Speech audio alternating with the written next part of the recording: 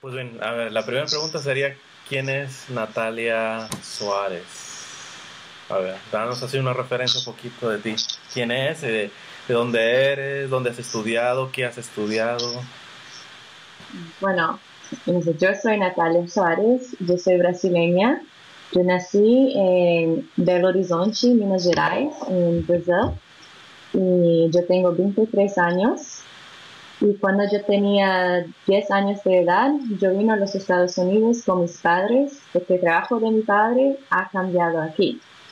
Desde Brasil nosotros éramos muy movidos con la iglesia en Brasil, mis padres siempre, desde que yo era niña, me enseñaron todas las noches mi madre oraba eh, el rosario con nosotros antes de dormir. Entonces siempre fuimos criados en la fe.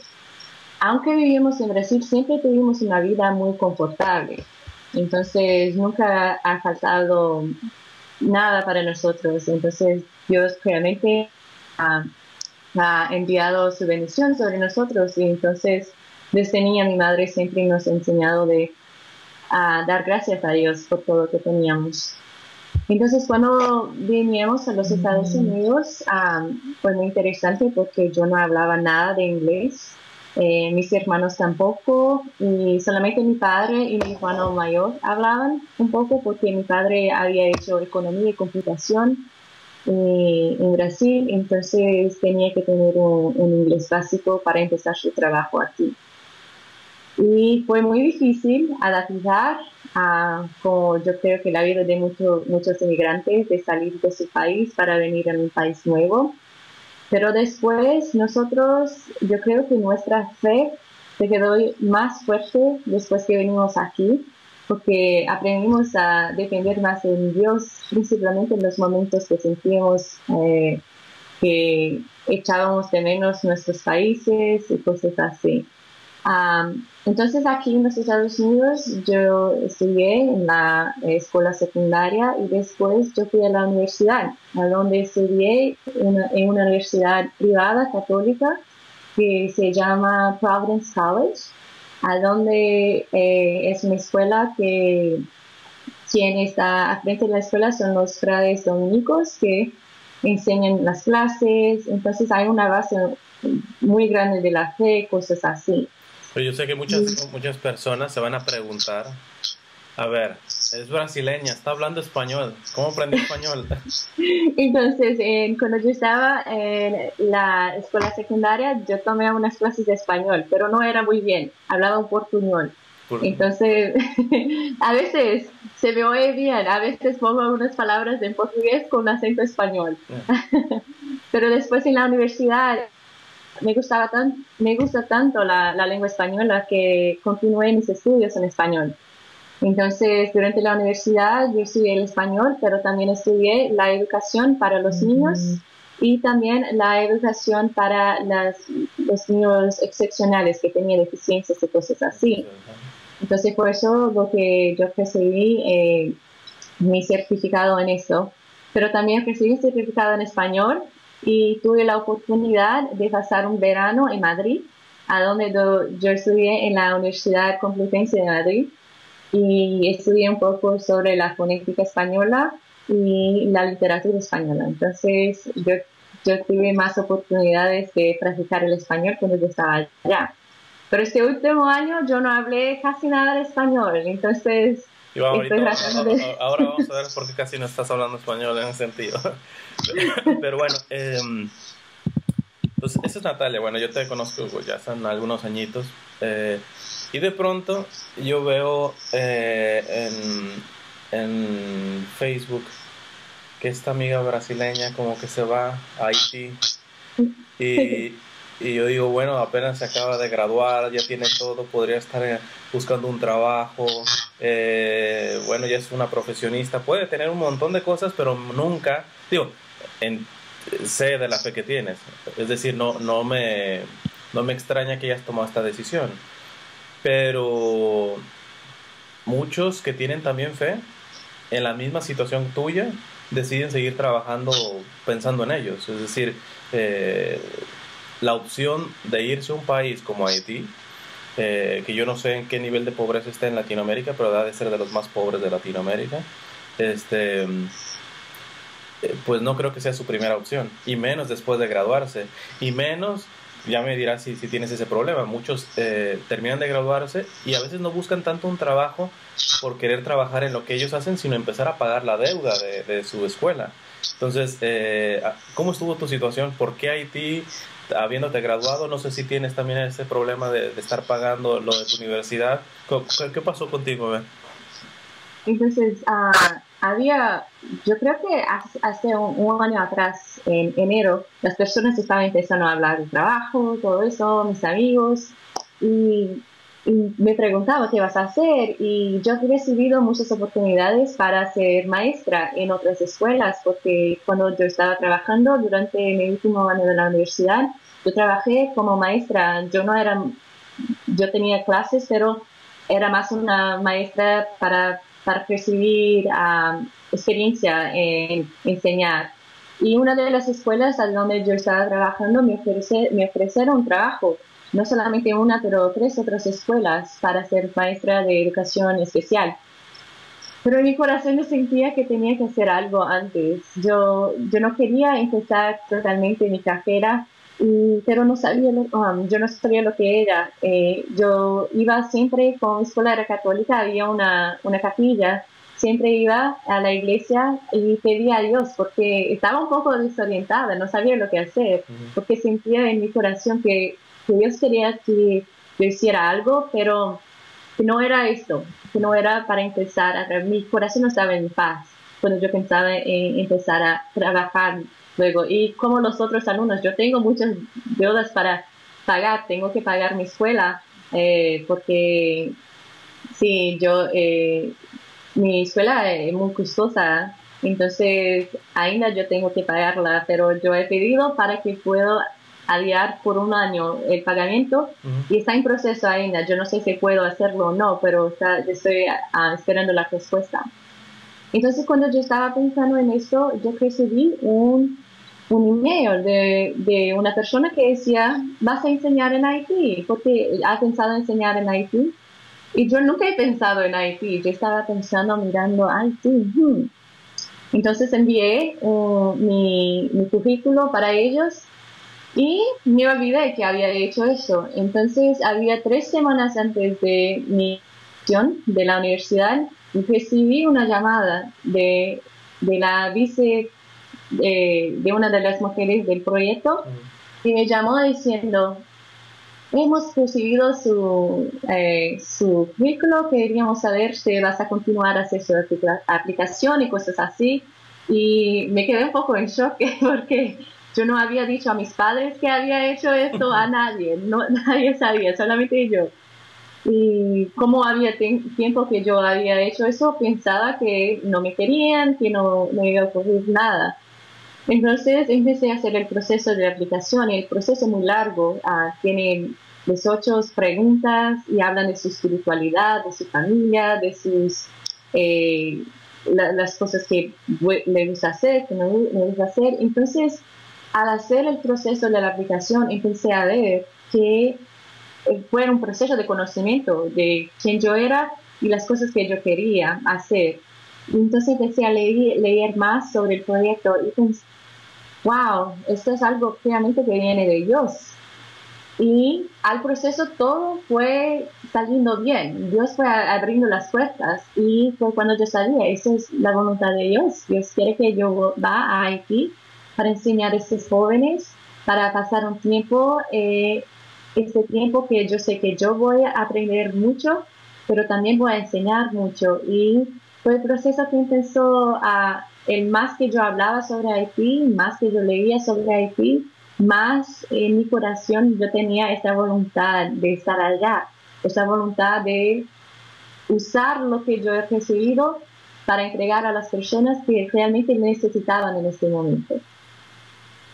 Entonces, y eso es algo que es el, eh, lo que el proyecto prega, que se dice que lo que recibimos gratis debemos de gratis, o sea, una cita bíblica, una cita bíblica de Jesús. Hay que dar gratis lo que gratis se recibe. Entonces, si quieres, vamos a pasar esa parte. Eh, este proyecto, ¿qué es? ¿De qué se trata? Eh, ¿Qué es propiamente lo que haces allá? Entonces, es un proyecto que, que es non-profit, que quiere decir que dependemos de, solamente de las donaciones de las personas. Eh, empezó en los años 80 como un proyecto para ayudar a las familias haitianas, pero después eh, se convirtió en una escuela, una escuela que hoy tenemos 350 alumnos, eh, que son chicos y chicas, y empezamos con como se dice, el séptimo grado va a el décimo tercero. Hay más uno que los Estados Unidos. Y lo que pasa es que al tiempo que, se fue, que las personas que empezaron el proyecto estaban en Haití, la cosa que vieron que faltaba más era la educación. Vieron que las personas, eh, el nivel de corrupción, de pobreza estaba en la falta de educación que las personas tenían que siempre los más ricos mantenían los pobres pobres porque ellos no sabían leer o escribir, porque todas las cosas están en francés y ellos hablan el criollo, entonces si no estudia, no, no vas a saber lo que pasa en los periódicos, nada. Entonces vieron que sí, muchas personas donan comidas, todo eso, pero vieron que las cosas que funcionan mismo en el país es educar a las personas y dar una educación buena. Entonces empezaron este proyecto. En proyecto ah, lo que pasa es que jóvenes hacen una prueba para entrar en la escuela y esos son jóvenes que vienen de las, eh, las zonas más pobres de Haití, que si no tuviera la escuela no podrían estudiar, no podrían recibir una educación. Entonces, como solamente podemos recibir 350 alumnos, tiene que hacer una prueba y una entrevista y de este es, eh, las personas escogen los alumnos y empiezan en la escuela. En la escuela enseñamos cuatro lenguas. Eh, ellos aprenden el criollo, el francés, el español y el inglés. Y además de eso tiene química, biología, todo eso. Pero el uno, la cosa más importante es enseñar las clases de religión. Que aunque damos una educación a los jóvenes, formamos también su fe, formamos también la ética, porque muchas de las personas después que le da una educación, quizás muchos de esos jóvenes piensan, yo voy a cambiar a Haití, pero muchas de las veces tiene que tener una mentalidad que tiene la ética, no puede cambiar a Haití eh, una manera que no es sí, porque la, la, la, educación no es garantía de buen comportamiento. ¿verdad? Un químico mañana hace una bomba, o sea, eh, un experto. Entonces, eh, es importante que, que, bueno que este proyecto tenga esa, esa visión, o sea, la, la, formación completa del ser humano, porque no sirve ser un profesionista y alguien educado si no tiene ética mínima. Ya no digamos fe, mínimo ética. Ya con la fe obviamente se enriquece muchísimo más la ética, la moral. ¿verdad? Pero eh, me comentaba la otra vez de, de, cómo no solamente la dan educación, sino muchas cosas en el sentido de apoyar íntegramente, completamente a, los estudiantes, pero a la vez este, dar gratis lo que es gratis, o sea, como que para una persona, eh, eh, al menos sin fe, no hacen las cuentas, o sea, como que como gratis, gratis y de educación de calidad no, no, no entra. ¿Cuál es tu experiencia en esto? Entonces, eh, el dar gracias lo que recibe de gratis también se refiere a los alumnos, que nosotros estamos dando una educación gratis. Ah, entonces, el, proyecto tiene como su proyecto que los alumnos se quedan en Haití y dan de gratis a Haití lo que ha recibido, la educación. Oh. Entonces, esta es una otra parte de, de, esta palabra, que lo que, no, lo que ellos reciben gratis. Ahora, cuando se, porque lo que pasa, las personas que son educadas en Haití, muchos de ellos que cuando reciben educación se van a los Estados Unidos, se van a otros países. Pero nuestros alumnos tratamos de ver esa mentalidad en ellos, que ellos se quedan en su país, pueden hacer una diferencia que en su país pueden hacer algo con las cosas que han recibido gratis, con las lenguas, con la química, todo eso. Entonces, eh, esto también es algo para ellos, que nosotros quedamos a ellos gratis, ellos pueden usar eso y, dar de gratis también a su país sus talentos, todo eso que han aprendido en la escuela. Ah, respecto de, del viviero, es es como he dicho, uh, nosotros tenemos 350 alumnos, sus alumnos viven en la escuela eh, durante la semana, entonces tenemos camas y todo eso para ellos, le damos agua, le damos comida, eh, tres veces al día. Entonces, y en el fin de semana se van a casa, después se regresan. Porque muchos de esos cuando se van a casa no tiene a dónde dormir, no tiene, no tiene lo que comer. Entonces hicimos una escuela donde tiene todos los recursos para que puedan aprender bien y todo eso. Y le encantan vivir en la escuela. Eh, y es puro milagro de ellos que podemos hacer todo eso, porque no, el presidente del proyecto siempre trabaja viajando para tratar de adquirir fondos de personas para que pueda ayudar el proyecto, porque yo creo que el proyecto para un año, necesitamos acerca de un millón de, dólares para la escuela, porque como he dicho, a algunos de mis alumnos yo no sabía, eh, pero cuando estaba haciendo una reflexión, muchos de ellos no tienen padres porque los perdieron en el terremoto. Entonces yo no sabía, pero nunca cuando se conoce uno de nuestros alumnos no sabe lo que la persona sufre, porque cuando míralos están, siempre están sonriendo, están llevando a hacer en serio su educación, entonces, y claro, son como cualquier uno teenager que puede ser, tiene sus, sus maneras de hacer, piensa que saben todo, entonces es como cualquier eh, adolescente joven en el mundo, pero tiene una vida que muchos de ellos tienen una vida muy sufrida, pero vemos cómo esas personas son fuertes, cómo, cómo estos alumnos, yo miro a ellos y dicen, wow, muchas, varias cosas ocurrieron en su vida y estás aquí sonriendo y para tú y... Ahora mismo estamos haciendo esta entrevista porque estás eh, en tu familia de, eh, de, por estas fiestas de Navidad. Pero esta entrevista la tenía que hacer en este momento porque tú tienes muy poca comunicación cuando te vas para allá. Eh, es decir, en tu caso personal, ¿tú cómo vives? Porque ellos quizá, cualquier persona dice, bueno, ellos han sido siempre pobres y chances están felices porque, porque pues siempre han sido pobres y bueno, les dan algo de comer y de estudio, pues se ponen más felices. Pero en el caso tuyo, que ya dejaste estas tres cosas eh, acá en Estados Unidos, ahora tienes muy poca comunicación, ahorita nos dice cuánto te permiten comunicarte o cuánto puedes, no que te permitan, sino que puedes por, por lo pobre que es allá. Eh, eh, cómo es tu vestir, tu, tu, alimentación, tu vida allá. Tú sí, no estás acostumbrada a eso, tenías otro tipo de vida acá. Y entonces podremos pensar, no, Natalia está en Haití llorando, la pobre, está, está sufriendo por todo lo que ellos sí, pobres, pues siempre pobres, pues felices con la pobreza, pero tú estás triste, estás... Eh, ¿Cuál ha sido tu experiencia personal ahí con la pobreza? Entonces, cuando yo llegué en Haití, yo vi la, la pobreza y, y, nosotros solamente podíamos llevar una, una malita. Entonces, y tenemos un, un uniforme para, uniforme para para enseñar que es una camisa polo y una falda o una, pantalones, lo que quiera. Y solamente tengo dos pares de, zapatos allá y uno es para trabajar, otro para enseñar y tengo sandalias para también enseñar. Ah, entonces, es muy interesante porque nosotros tenemos solamente el básico y el necesario y nada nos falta. Es no, no siento falta de nada. Entonces vivimos con el básico en el vestir. Eh, tenemos la ropa que hacemos el trabajo manual. Por ejemplo, yo tengo shorts de, basketball y una camiseta, algo así, que yo voy a acabar algo o hacer algo con los alumnos. Y tengo mi ropa que es una camiseta polo y pantalones, cosas así que uso durante la semana, después ya eh, durante el fin de semana nosotros lavamos la ropa y usamos nuevamente la, la próxima semana.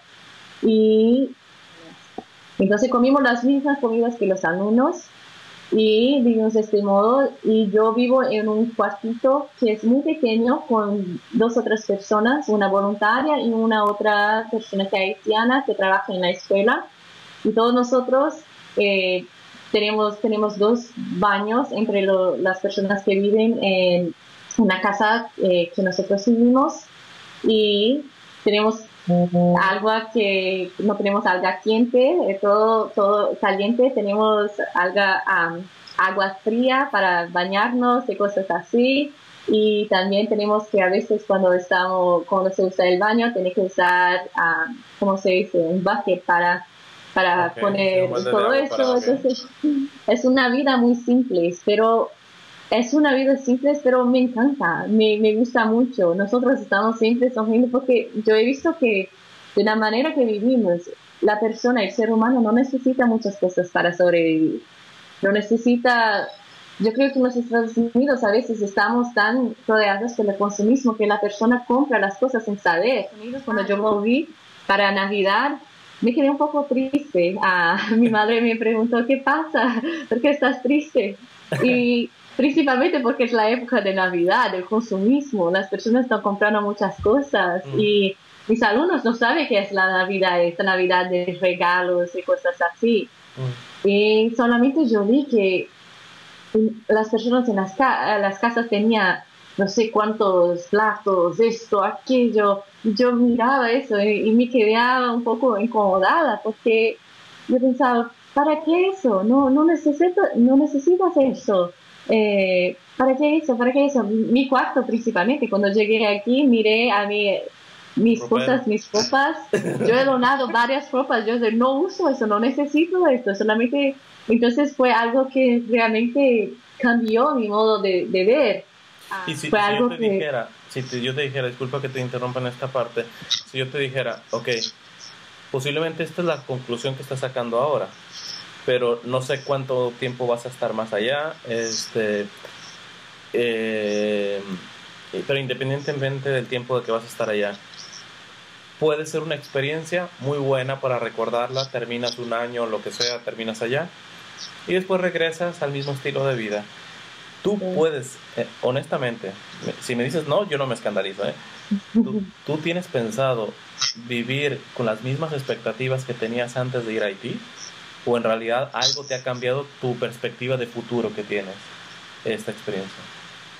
Yo puedo decir que algo ha cambiado, porque, pero es muy interesante porque yo estaba aquí y yo siento que la cosa que más pido a Dios es que nunca me olvide de la experiencia que he vivido en Haití. Tengo más cinco meses de vivir allá, pero nosotros como estas tres semanas que estoy aquí en los Estados Unidos, mi miedo mayor es de olvidar la experiencia que he vivido, porque es muy fácil de olvidarla cuando estás en el medio de todo eso aquí. He cambiado, por ejemplo, con la comida también. Si personas que tienen comida, mucha comida aquí, y después dejan, eh, tienen que poner en la basura la comida, todo eso ha cambiado que nosotros solamente necesitamos hacer lo necesario, no hacer mucha comida para después poner en la basura. O es, puedes comer la comida que ha hecho ayer, no tiene que comer una nueva hoy. Entonces, eh, todo eso, las pequeñas cositas han cambiado mi manera de ser. Una otra cosa que ha cambiado es que cuando yo estoy en Haití, eh, con proyectos y otras cosas así, nosotros aprendimos a decir más el sí que el no. Entonces, si una persona dice, ah, necesito que vas a trabajar, como no tiene una clase este periodo, vas a, vas a trabajar con los alumnos en eso, en eso. Entonces, yo siempre en Haití estoy diciendo, sí, sí, estoy libre, puedo hacerlo, sí, estoy libre. Pero aquí Unidos veo que a veces, antes, cuando mi madre me preguntaba, ah, ¿puede llevar, hacer eso, eso? no.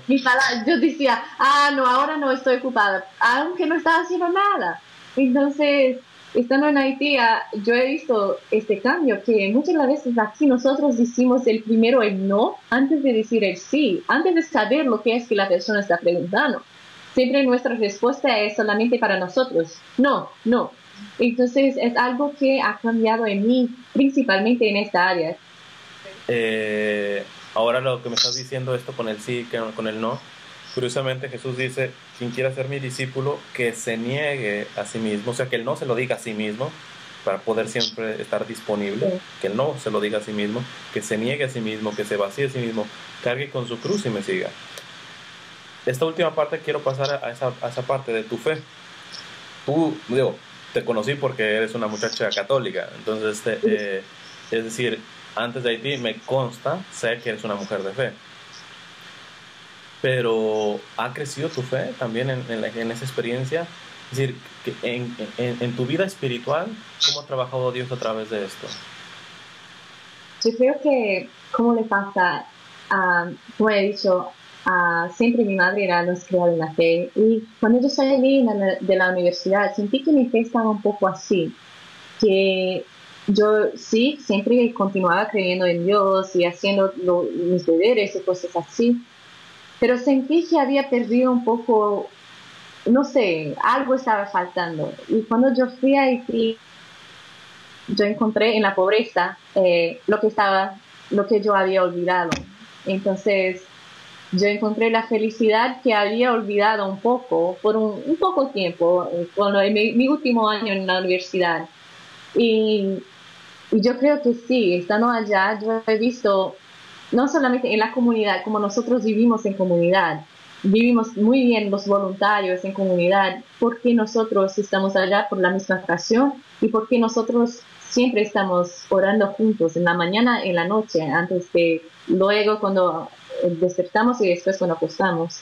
Entonces yo vi que la fe es algo que realmente es lo que hace, porque, porque a veces se queda muy difícil la experiencia en Haití. A veces a días que sus alumnos no están bien y tú no estás bien, eh, pero Dios está siempre contigo y nosotros siempre hacemos una reflexión en el fin de la semana, ¿a dónde has visto Dios? Y cuando oímos de eso, ¿a dónde hemos visto Dios? Ha, abrido más mi corazón y mi mente para tratar de ver, Dios más en las personas y en todo lo que hacemos. Entonces es algo que me recordado de hacerlo, porque muchas de las veces eh, olvidamos de hacer eso, olvidamos de ver que aunque este alumno está imposible, no quiere aprender, Dios está en ellos yo puedo ver Dios en sus acciones, aunque mi clase no parece que está allá, pero eh, es algo que han enseñado otra vez, a ver que la misericordia de Dios y cómo Dios está presente en las personas. Me siento que mi fe es la misma fe, pero yo he recibido una otra parte de la fe, una otra mirada, una otra cosa de ver en la, la pobreza la belleza de Dios. Entonces, yo creo que es eso que ha acrecentado a mi fe. digo, yo por lo general siempre propongo a los jóvenes que mínimo tengan una experiencia de un año, irse de misión, etcétera, porque a veces hay misiones como de un mes y este eh, en Semana Santa, Cuaresma, cosas así, y son buenas misiones, pero eh, no se ofenda más de una persona, pero son misiones poco realistas por una razón porque cuando tú vas a una misión, aunque vayas a un lugar muy pobre, hay que entender que siempre las personas pobres son muy generosas, te reciben este, con brazos abiertos. Y cuando es un mes, pues en un mes eh, tú estás sirviendo, pero en realidad eh, la comunidad te tiene, te tiene aquí en la mano, o sea, eres, eres muy importante. En cambio, cuando vas a una misión de un año, pues ven que hoy no te levantaste con buen humor tú, o hoy no estás de carácter, o sea, es una, una experiencia más realista, o sea, la gente te conoce como eres realmente, no en un mes, sino como eres, y tú conoces a la gente que a veces la que era más amable pues ya no es tan amable después de un mes este, y, es algo más realista. Entonces em, por eso yo sugiero mucho esto de un año. ¿Tú, tú qué podrías decirle o convencer a una persona o, motivar a una persona este de tu edad eh, o un joven que al menos trae en su cabeza eso, pero con la presión que tú sabes que es aquí en los Estados Unidos. Aquí se vive para ser exitoso nada más. O sea, tú estudias, estudias, estudias para ser exitoso y el éxito, el éxito. Entonces, aunque vive en un lugar por un mes, pues vas a vivir como un turista, ¿sí? Cuando vive en un lugar por un mes, no te solamente conoces las cosas más importantes del país o le muestran algunas cosas sobre la la comunidad. Pero cuando se vive en un año, sí realmente vive con las personas, vive, se siente lo que las personas sienten, sufre con las personas, se mm. alegra con las personas y es una cosa que hace, hace con que tú puedes madurecer y crecer. Es como yo he visto. Muchas de las cosas que yo, en mi persona, que a mí no, no me gustaba, yo aprendí a mirar a mí mismo a mirar a mi personalidad, a mirar las cosas que yo hacía y corregir y pensar y evaluar y hacer cosas como, ah, ¿será que estas acciones que yo estoy haciendo están buenas? No. Entonces, un proceso también de, conocimiento humano. Es algo que yo veo que cuando estamos en la universidad, somos una persona en la universidad, pero creo que cuando sale de la universidad muchas personas piensan, ¿y ahora qué voy a hacer? ¿A dónde pertenezco? ¿Qué quiero de mi vida? Es un momento cuando sale de la universidad de conocimiento propio. Yo veo que durante la universidad está tratando de conocerte, quién eres, qué quiere hacer. Y, pero yo creo que cuando sale de la universidad continúa ese proceso de conocimiento propio. Y que estando en un otro lugar como esto, uh, ofreciendo de las cosas que has recibido, yo creo que pasa a conocerte más lo que antes. Eh, es algo que yo estoy experimentando. Yo conozco a mí mismo más lo que yo conocía antes. Antes yo pensaba que conocía quién yo era, las cosas que yo quería hacer, lo que me llevaba a hacer las cosas, pero ahora estoy direccionando mi vida en la dirección que yo quiero llevarla. Bueno, la primera, Iglesia Católica. Yo veo mi casa, mi refugio. Ok. Jesús. Amor y esperanza. María. El puerto seguro. Brasil. Ah, mi felicidad. Estados Unidos. Mi aprendizaje. Haití. Mi corazón. Pobreza. Eh, la realidad. Riqueza. Ah, frutos que pueden ayudar a los otros.